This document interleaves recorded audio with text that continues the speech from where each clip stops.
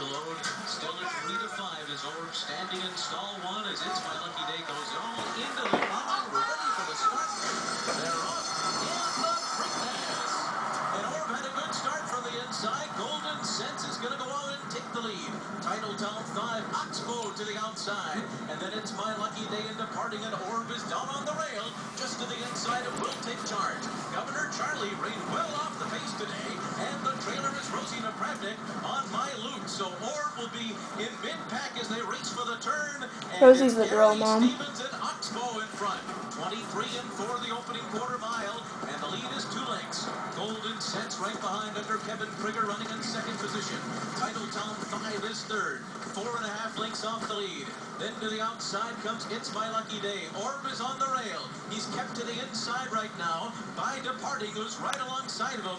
And Joel Rosario now finds room in between horses and now gets Orb to the outside and up into third position as Oxbow continues to lead the way through a 48 and three half miles. So it's been a sensible, easy pace for Gary Stevens and Oxbow. And that means Orb will be close and he's in between horses. He's going to get shuffled back a little bit there. He lost position. Title Town 5 is now second on the rail. Goldencents is in third. And now Orb's going to have to find a way through. He had some running room and now suddenly Orb is losing ground to the leaders.